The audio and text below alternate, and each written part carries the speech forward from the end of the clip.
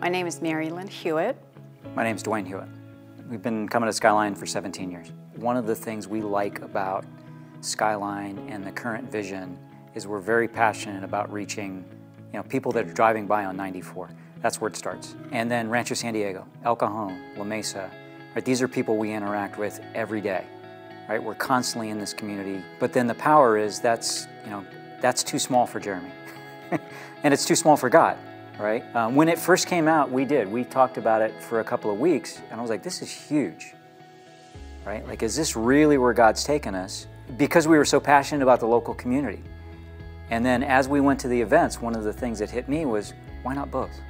When I started seeing that that was doable, I got really excited about it. There is a special desire of each of the leadership here that um, that want you, and you could you could feel it. You could feel the tenderness of their hearts and the desire for you to really truly know who Jesus is and be a part of be a part of your life. You know, 10, 10, 10, 10,000 people, that's 10,000 stories.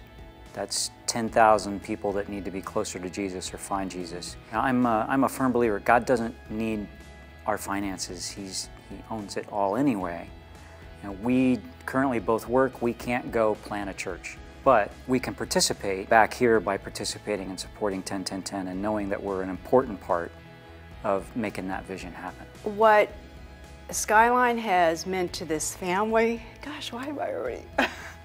um, I wanted other families to experience it, experience that as well. I mean, it has it transformed by us attending Skyline, transformed our marriage. It also brought our daughters closer to Jesus. And for Skyline to be a part of that, I mean, we want that to be experienced by other people as well.